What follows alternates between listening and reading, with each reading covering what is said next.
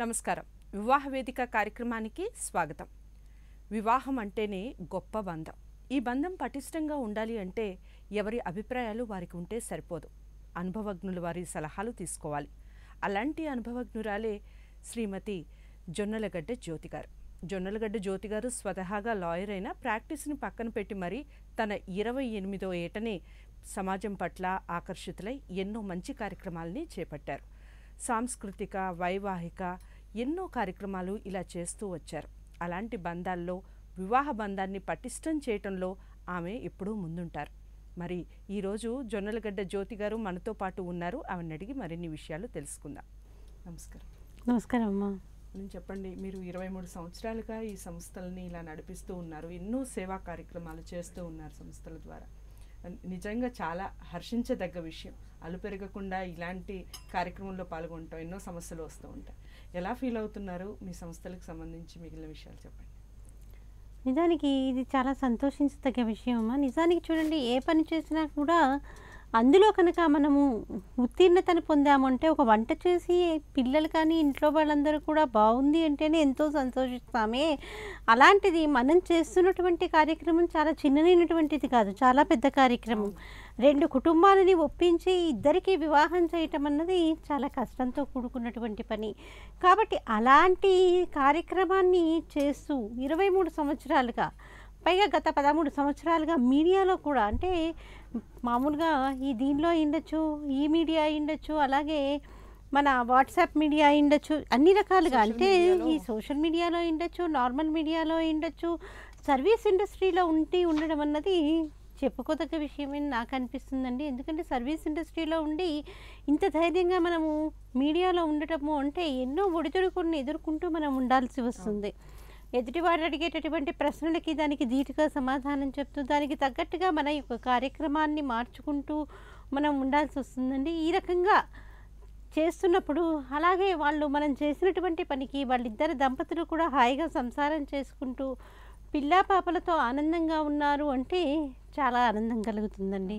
చాలా సంతోషించదగ్గ విషయం పెద్దల్ని ఒప్పించడంలో మీ పాత్ర ఎంతవరకు ఉంటుంది? పెద్దల్ని ఎలా ఒప్పించగలరు? కొంతమందికి పెద్దల అభిప్రాయాలు ఈవెన్ భార్యాభర్తల్లో కూడా వేరువేరుగా ఉంటాయి. వాళ్ళిద్దరిని ఒప్పించి వాళ్ళ పిల్లలకి పెళ్ళి చేయటంలో మీ పాత్ర ఎంతవరకు ఉంటుంది? చెప్పండి మేడం. నిజానికమ్మా పెద్దల్ని ఒప్పించడం అంటే అది కొంచెం కష్టంతో కూడుకున్నటువంటి పని. ఎందుకు అంటే పిల్లల్ని ఒప్పించొచ్చేమో. పాపం పిల్లలు కాబట్టి మనం ఏం చెప్పినా వింటారు. పెద్దలేంటి? వాళ్ళకి ఏవేవైతే జరగలేదు అంటే ఇప్పుడు అమ్మాయి తల్లి కానీ అబ్బాయి తల్లి కానీ ఏంటి వాళ్ళు ఏవేవైతే జీవితంలో అనుభవించలేకపోయారో అవన్నీ వాళ్ళ పిల్లల జీవితంలో కావాలని కోరుకుంటూ ఉంటారు. మగవాళ్ళకంటే ఇలాంటి ఎక్కువగా ఆశలు ఉండేది ఆడవాళ్ళకే అని మనందరికీ కూడా ఖచ్చితంగా తెలిసినటువంటి విషయమే.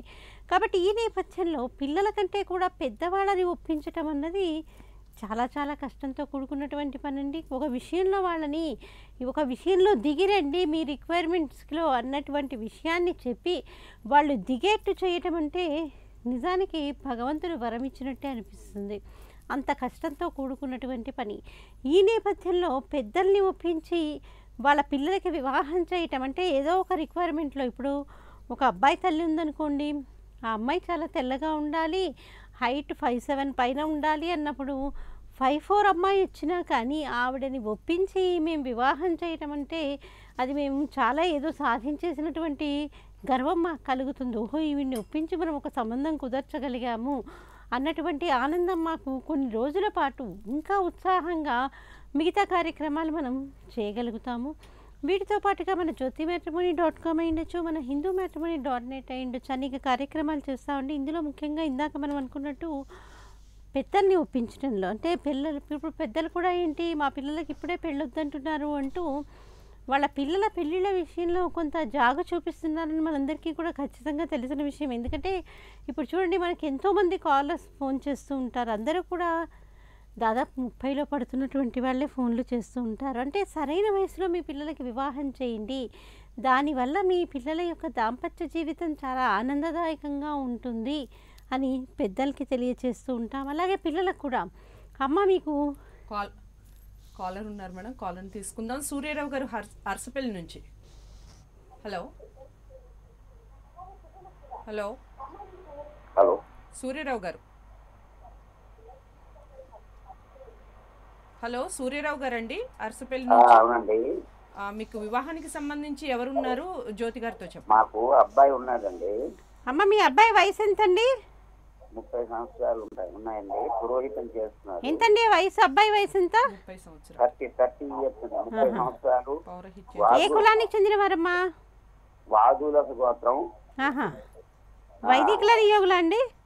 ముప్పై మేము ద్రావిడ్లు అండి. ద్రావిడ్లు. గంటి ఇంటి పేరు గంటి అండి ఆహా గంటివారా? ఓకే. గంటివారు అంటే చాలా ఫేమస్ అండి ద్రావిడ్లలో. గంటివారు ఒకళ్ళు మంతా వాళ్ళు ఒకళ్ళు అలాగే మీ అబ్బాయి ఏం చదువుకున్నారండి? మా అబ్బాయి డిగ్రీ చేసేదండి. కానీ పురోహితం చేస్తున్నాడు ఇప్పుడు. ఎంత ఆదాయం వస్తుందండి? ఏంటమ్మా? ఆదాయం ఆదాయం. ఆదాయం నెలకి ఇంచుమించుగా పదిహేను వేలు వస్తుందండి ఇరవై వేలు. ఎంతండి? సారీ వినిపించలేదు. పురోహితం అండి పురోహితం ఓకే ఆదాయం ఎంత ఉంటుందండి అప్రాక్సిమేట్గా పురోహితులకు చాలానే ఉంటుంది. వారి చేతిలో విద్య ఉండాలి కానీ. పర్ మంత్ ఒక ట్వంటీ థౌజండ్ వస్తుంది అంటే ఇంటి దగ్గర దగ్గర గోత్రనామాలు మేము చదువుతూ ఉంటాం. ఇంటి బయట కార్యక్రమాలు అన్ని కలిపి ఒక ట్వంటీ థౌజండ్ సుమారుగా వస్తుంది. నాకు ఒక రైతు గిఫ్ట్ ఇచ్చేది ట్వంటీ సిక్స్. సెంట్స్ అది కోటి పైన ఉంటుంది దాని ఆస్తి. ఇంటి దగ్గరే ఆశ్రమం అందులో పెట్టాము. ప్రతి నెల కొంతమంది ఎక్కడెక్కడ వాళ్ళు కూడా తల్లిదండ్రుల ఫ్రెండ్స్ వాళ్ళు వన్ ఫిఫ్టీ రూపీస్ చొప్పున గోత్రనామాలు చదువుతుండో బయట కార్యక్రమాలకు వివాహాలు తర్వాత సత్యనారాయణ వ్రతాలు అన్ని చేస్తూ ఉంటారు. దానికి ఆదాయం ఒక నెల ముప్పై రావచ్చు ఒక నెల ఇరవై రావచ్చు. అలాగా అది మొత్తం మీద సుమారుగా ఇరవై వేలు తక్కువ ఉండదు పర్ మంత్ మీ కాబోయే కోడలు ఎలా ఉండాలని మీరు అనుకుంటున్నారండి? ఒక ద్రావిడలోనే చూస్తున్నారా? ఏ బ్రా బ్రాహ్మణ అయితే చాలు నాకు. సరే అండి. మీరు ఏం చేస్తారంటే మీ అబ్బాయికి సంబంధించినటువంటి పూర్తి వివరాలని మా వాట్సాప్ నెంబర్ అయినటువంటి triple eight six two four double zero double ఎయిట్కి అందచేయండి. తప్పకుండా మా జ్యోతి మ్యాట్రిమోని డాట్ కామ్ ద్వారా మీకు చక్కటి అమ్మాయిని చూపిస్తామండి. ఇప్పుడు మీరు చెప్పినట్టు వాళ్ళ అబ్బాయి పౌరోహిత్యం చేస్తున్నారు. పౌరోహిత్యం అన్నా కానీ వేద పండితులు అన్నా కానీ పురోహితులు అన్నా కానీ అసలు అర్చకులు అన్నా కానీ అమ్మాయి తల్లిదండ్రులు అసలు వివాహం వాళ్ళ అమ్మాయిని ఇవ్వటానికే ముందుకు రావట్లేదు. ఇప్పుడు చూడండి వారికి ఏం తక్కువ చెప్పండి? నిజానికి ఒక సాఫ్ట్వేర్ ఉద్యోగి ఎంతైతే సంపాదిస్తూ ఉంటారో వాళ్ళు ఒక క్రతువు చేయించి కొన్ని గంటల వ్యవధిలో నెలంతా కష్టపడి ఒక ఉద్యోగి ఎంత సంపాదిస్తారో అంత మొత్తాన్ని వాళ్ళు సంపాదిస్తూ ఉంటారు. కాబట్టి అమ్మాయి తల్లిదండ్రులు కూడా ఒక రకంగా ఆలోచించాలి. పైగా వాళ్ళకేంటి భార్యాస్థానం యొక్క విలువ తెలుసు కాబట్టి భార్యని ఎంత బాగా చూసుకోవాలో కూడా తెలుసు కాబట్టి వారిని వివాహం వారికి ఇచ్చి వివాహం చేయటం వల్ల వారి దాంపత్య జీవితం చాలా బాగుంటుంది. పైగా డైవర్స్ ప- శాతం కూడా చాలా చాలా తక్కువగా ఉంటుందండి. మరి మన వాళ్ళు ఎందుకు ఆలోచించట్లేదో తెలియట్లేదు కానీ వారికి ఇచ్చి వివాహం చేయటం వల్ల వాళ్ళ అమ్మాయి చాలా సుఖపడుతుంది. రాత్రింబగళ్ళు ఉద్యోగం విషయంలో కష్టపడక్కర్లేదు. ఉదయం కొన్ని గంటలు సాయంత్రం కొన్ని గంటలు పనిచేస్తే చాలు. వేద పండితులు అయితే ఏదైనా క్రతువు నిర్వహించినప్పుడు కొన్ని గంటల వ్యవధి రోజు మొత్తంలో కష్టపడితే చాలు. ఇవన్నీ గుర్తుంచుకొని మన అమ్మాయిని అసలు వాళ్ళకి ఇస్తే తప్పేంటి అన్నటువంటి కోణంలో ఆలోచించండి. మన సోషల్ మీడియాలో కూడా మన జ్యోతి మ్యాట్రిమోనీ డాట్ కామ్ వీరికి వివాహం చేయాలని ఎంతో తాపత్రయపడుతూ ఎన్నో రకాలైనటువంటి పోస్టింగ్స్ ద్వారా వాళ్ళని ఒక రకంగా ఉత్తేజపరుస్తూ అమ్మాయిల తల్లిదండ్రులు కూడా వాళ్ళ అమ్మాయిని ఇటు పురోహితులకి అర్చకులకి ఘనపాటీలకి ఇచ్చేటట్టు ప్రయత్నాలు చేస్తున్నామండి. కొంత మార్పు వాళ్ళల్లో కూడా వచ్చి ఆలోచన ధోరణిలో మార్పు వస్తే ఇంకా చాలా బాగుంటుంది. మనం కనుక అలా ఆలోచించి మన అమ్మాయిని వీళ్ళకి ఇద్దాము అని నిర్ణయించుకుంటే సనాతన ధర్మాన్ని నిలబెట్టడంలో మనం కూడా ఒక చేయి వేసినట్టుంటుంది.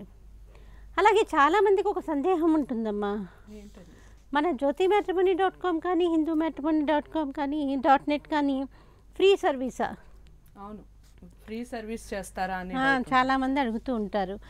ఈ ఫ్రీ సర్వీస్ అనేది అసలు ఎక్కడ ఉంటుందండి? ఫ్రీ సర్వీస్ అంటాము మనం వన్ ప్లస్ వన్ చీర ఆఫర్లు చూస్తూ ఉంటాము. అవి ఎంత బాగుంటాయో మనకు అందరికీ తెలిసిన విషయం. ఎందుకంటే ఆడవాళ్ళం అనేసరికి వన్ ప్లస్ వన్ అనగానే ఒక పది కొనేస్తాం. కానీ ఒకసారి తడపగానే వాటి రూపురేఖలు ఎలా మారిపోతాయో మనకు తెలిసిన విషయమే.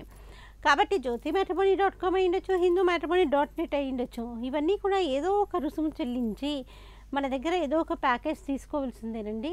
అందరూ కూడా ఎక్కువగా ఇష్టపడుతోంది స్పెషల్ ప్యాకేజీ. స్పెషల్ ప్యాకేజీలో ఏంటంటే పూర్తిగా బాధ్యతలు మేమే స్వీకరించి ఇటు అబ్బాయి తరఫున అమ్మాయి తరఫున మాట్లాడుతూ వారికి వివాహం త్వరగా కుదిరేటట్టు చూస్తామండి. ఇది స్పెషల్ ప్యాకేజ్ అంటే ఈ స్పెషల్ ప్యాకేజీ పట్ల అవగాహన కావాలన్నా మన వాట్సాప్ నెంబర్ అయినటువంటి triple eight six two four double zero double ఎయిట్కి వాళ్ళు వివరాలు అందచేయచ్చు. ఫోటోతో సహా అందచేస్తే ఇంకా చక్కగా ఉంటుంది. కొంతమందికి సందేహం ఉంటుంది. ఫొటోస్ ఇస్తే ఏమన్నా బాగుండదేమో. ఎందుకంటే ఇప్పుడు టెక్నాలజీ పెరిగిపోతున్న కొద్దీ వాటిని మిస్యూజ్ చేసేటటువంటి అవకాశాలు కూడా మనకు పెరిగిపోతున్నాయి. టెక్నాలజీని మనం ఎంత బాగా వాడుకోవచ్చో దాన్ని అంత పిచ్చిగా కూడా వాడుకోవచ్చు. కాబట్టి కొంతమందికి అలాంటి ఉన్నారు మేడం. కాలర్ తీసుకుందాం. Ramachandra garu. Hello. Hello madam. Ramachandra గారు అండి ఎక్కడి నుంచి కాల్ చేస్తున్నారు? మాది చిత్తూరు డిస్టిక్ పొలంనే తాలూకా అమ్మా ఓకే మీకు వివాహానికి సంబంధించి మీ ఇంట్లో ఎవరున్నారు ఎవరి గురించి మాట్లాడాలనుకుంటున్నారు? జ్యోతి గారితో మా ఒక అమ్మాయి కావాలి ఎస్సీ మాది. అమ్మ ఎవరున్నారండి మీ దగ్గర వివాహానికి? ఆ అమ్మాయి కావాలి మాకు. బావమరిదికి. వయసు ఎంతండి? వ- వయసు ముప్పై రెండు. ఎంతండి? ముప్పై రెండు సంవత్సరాలు. ముప్పై రెండు ముప్పై రెండు. అబ్బాయికి. అబ్బాయికి ఎంత? ముప్పై రెండు ముప్పై సంవత్సరాలు. రెండు సంవత్సరాలు. ఏ కులానికి ఎస్సీ. SC SC. ఏం చదువుకున్నారు? BA B Ed madam. ఎక్కడ ఉద్యోగం చేస్తున్నారమ్మా. ప్రైవేట్ అండి గవర్నమెంటా? ఇదే గవర్నమెంట్ సచివాలయం సచివాలయంలో. వచ్చేస్తుంది వాళ్ళండి రిజర్వేషన్స్ కూడా ఉన్నాయి కాబట్టి రావచ్చు. ఇప్పుడు అబ్బాయికి ఎంత వస్తుందండి ఆదాయం?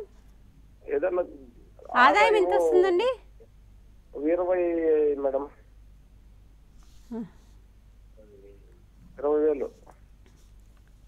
మీరు ఎలాంటి వారిని కోరుకుంటున్నారు?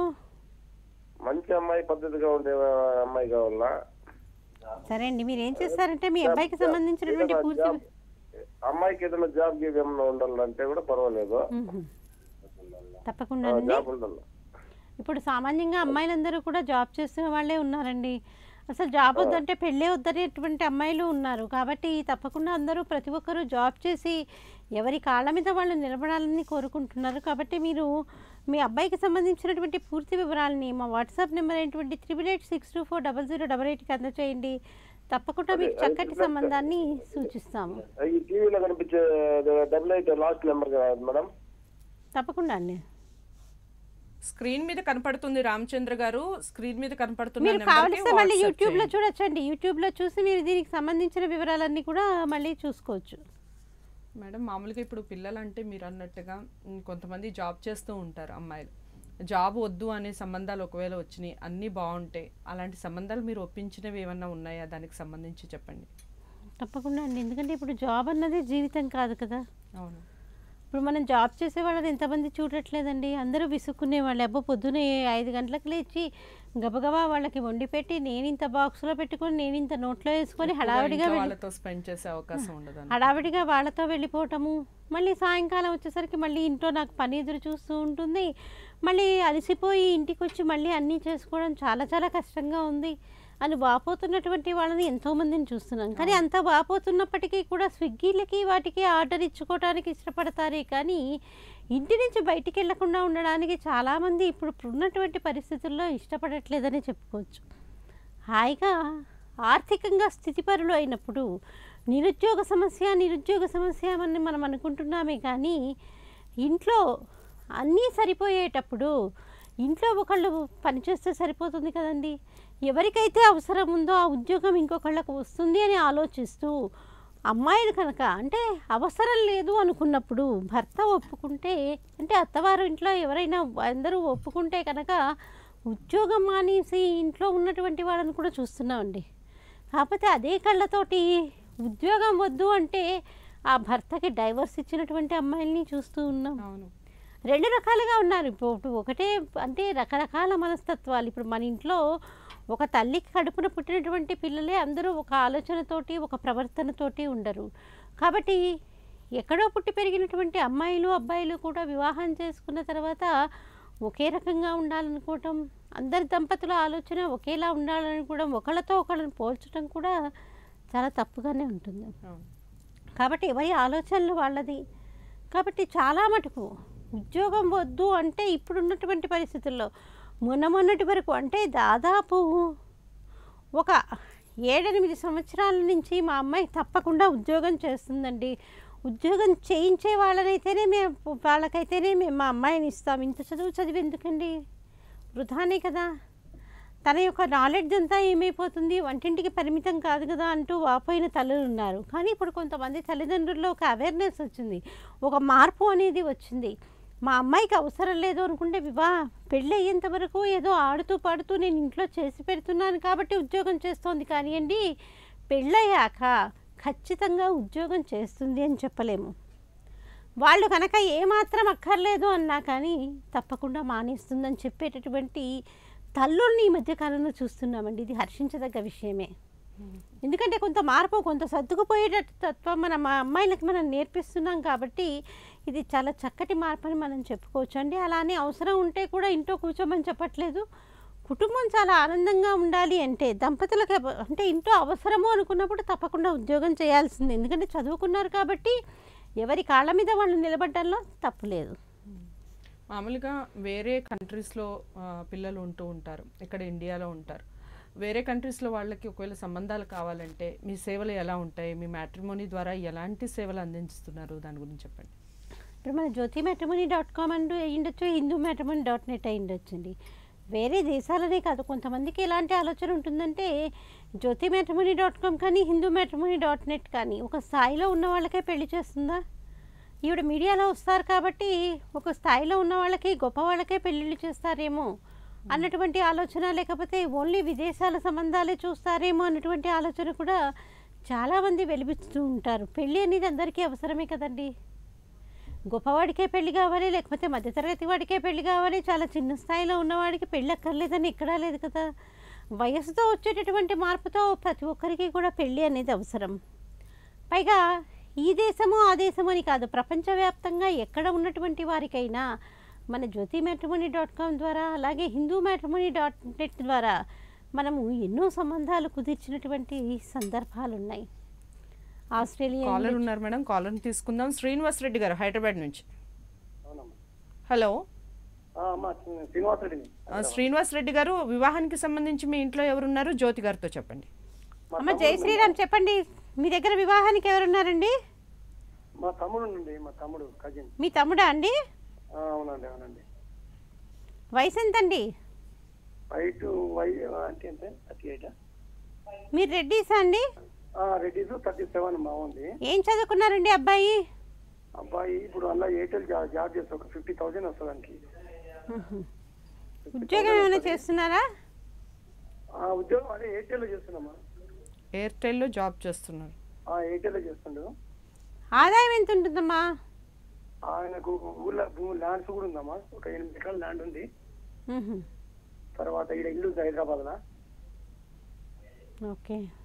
హైదరాబాద్లో ఇల్లు కూడా ఉంది మీ ఇంటికి కాబోయే అమ్మాయి ఎలా ఉండాలని మీరు అనుకుంటున్నారండి అమ్మ ఆయనది వాస్తవం ఏంటంటే అబ్బాయిది మ్యారేజ్ అయింది ఇదివరకు.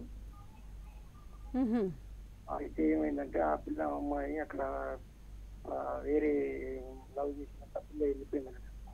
సరే అమ్మా మీరు ఏం చేస్తారంటే మీ తమ్ముడికి సంబంధించినటువంటి పూర్తి వివరాల్ని మా వాట్సాప్ నెంబర్ అయినటువంటి triple eight six two four double zero double ఎయిట్కి అందచేయండి తప్పకుండా మన హిందూ మ్యాట్రిమోనీ డాట్ నెట్ ద్వారా చక్కటి సంబంధాలని సూచిస్తాము. దేశ శ్రీనివాస్ గారు చెప్పినట్టు ఒకవేళ సెకండ్ మ్యారేజెస్ ఏదన్నా కారణాల ద్వారా రెండో పెళ్ళి చేసుకోవాల్సి వస్తే వాళ్ళకి ఎలాంటి సంబంధాలు మీరు కుదిర్చిన దాఖలాలు ఉన్నాయి? ఎలా ఎలా చేస్తారు? ఆ డీల్ ఎలా ఉంటుంది? నిజానికమ్మా రెండవ వివాహం అనేసరికి ఇప్పుడు పాపం వీరు బాధపడ్డట్టే ఇంట్లో అందరికీ కూడా రెండవ వివాహం అనేసరికి ఇప్పుడు అది వారిద్దరి సమస్య కాదు రెండు కుటుంబాల యొక్క సమస్య. రెండు కుటుంబాల యొక్క సమస్య కాబట్టి వాళ్ళిద్దరూ బాధపడ్డమే కాదు కుటుంబం అంతా కూడా అటు ఇటు కూడా బాధపడతారు. మరి శ్రీనివాసరెడ్డి గారు అందుకే కదా అంత బాధతో వాళ్ళ తమ్ముడికి వివాహం చేయాలని ఫోన్ చేశారు మనకి.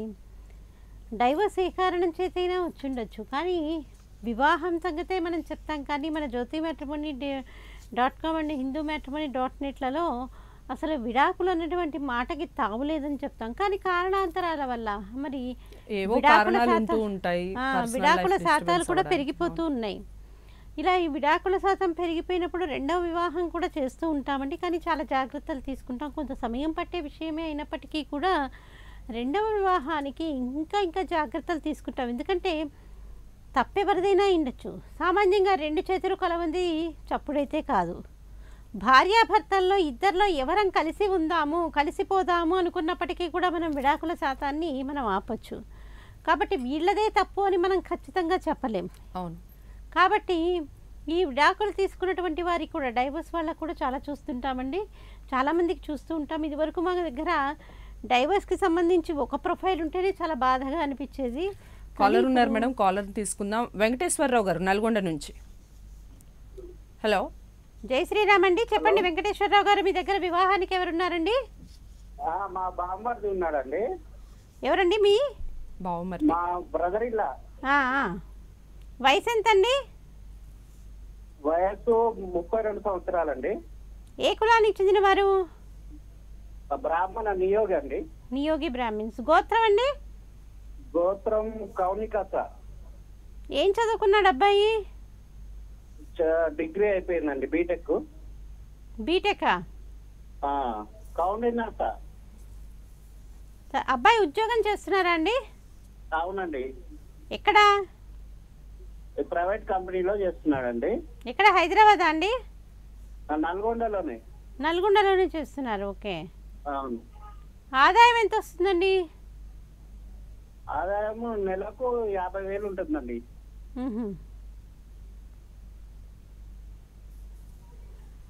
ఇప్పుడు మీ ఇంటికి వచ్చే అబ్బాయి అంటే వాళ్ళు ఎలాంటి అమ్మాయి కావాలని కోరుకుంటున్నారు? మీ బామ్మరిది వాళ్ళు? అమ్మాయి గుడ్ ఫ్యామిలీ ఉండాలి. కొద్దిగా మామూలుగా డిగ్రీ కానీ ఇంటర్ కానీ చదువుంటే సరిపోతుంది. ఒక నియోగులే చూస్తున్నారా అండి ఎవరైనా పర్లేదా? ఎవరైనా పర్లేదండి. బ్రాహ్మణ అమ్మాయి ఎవరైనా పర్లేదు. అవును. సరే అమ్మా మీ బావమరిది గారికి సంబంధించినటువంటి పూర్తి వివరాలని మా వాట్సాప్ నెంబర్ అయినటువంటి triple eight six two four double zero double ఎయిట్కి అందచేయండి. తప్పకుండా మా Hindu Jyothi matrimony dot com ద్వారా మీకు చక్కటి సేవలు అందజేస్తాము మన ప్రైమ్ లైన్. వ్యూవర్స్ ఎవరైతే ఉన్నారో వాళ్ళకి సంబంధించి వాళ్ళ ఇంట్లో కూడా ఎవరైనా పెళ్ళి సంబంధాలకు లేకపోయినా ఇప్పుడు చూడండి చాలామంది వాళ్ళ తమ్ముడి కోసము లేకపోతే ఇప్పుడు వాళ్ళ బావమరిది గారి కోసము ఇలా వాళ్ళ బంధువుల్లో ఉన్నటువంటి వాళ్ళకి ఫోన్ చేసి మనకి వివరాలు ఇస్తూ ఉన్నారు. ఎందుకంటే వివాహం పెళ్ళి చేయడం అంటే చాలా చిన్న విషయం కాదండి.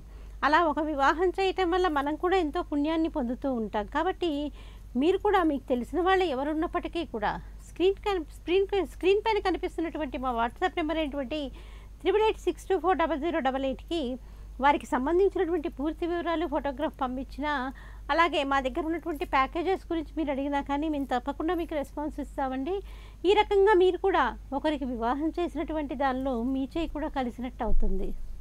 మీరు ఇరవై మూడు సంవత్సరాలుగా ఈ సంస్థల్ని నడిపిస్తూ ఈ సేవ చేస్తూ ఉన్నారు. మళ్ళీ మీరు అన్నట్టుగా ఇంతకుముందు ఇరవై మూడు సంవత్సరాల్లో మీ పెళ్ళైన వాళ్ళు మళ్ళీ కలిసి ఇంచుమించుగా వాళ్ళ పిల్లలకి మళ్ళీ పెళ్ళిడికి వచ్చే సందర్భాలు కూడా ఉంటాయి. అలాంటివి తారసపడినప్పుడు మీ ఫీలింగ్ ఎలా ఉంటుంది? వాళ్ళకి ఏమైనా సంబంధాలు అలా చూసిన దాఖలాలు ఉన్నాయా? దానికి సంబంధించి చెప్పండి మేడం. అది వెరీ హ్యాపీయెస్ట్ మూమెంట్ అనుకోవచ్చు అవునండి. నిజానికి ఇప్పుడు చూడండి మనము మన పిల్లలకు వివాహం చేసేటప్పుడు ఎంత ఆనందాన్ని పొందుతాం చెప్పండి? ఎంతో అంటే నిన్న మొన్న పుట్టినటువంటి పిల్లవాడు పెళ్ళి కుమారుడుగా మారినప్పుడు ఆ తల్లి యొక్క హృదయంలో ఉండేటటువంటి ఆ ఆనందాన్ని ఏ చిత్రకారుడు కూడా ఒక బొమ్మ గీసి చూపించలేడు.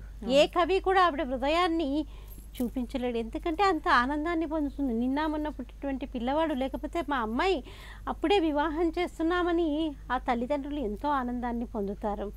అలాగే మా దగ్గర వివాహమైనటువంటి జంట మళ్ళీ వాళ్ళ పిల్లలకి పెళ్ళిడికి వచ్చారంటే అది మాకు ఇంకా దానికంటే కూడా ఎంతో ఆనందప్రదమైనటువంటి శుభమైనటువంటి తరుణంగా మనం చెప్పుకోవచ్చు. ఎందుకంటే దాన్ని మనం మాటల్లో వర్ణించలేం.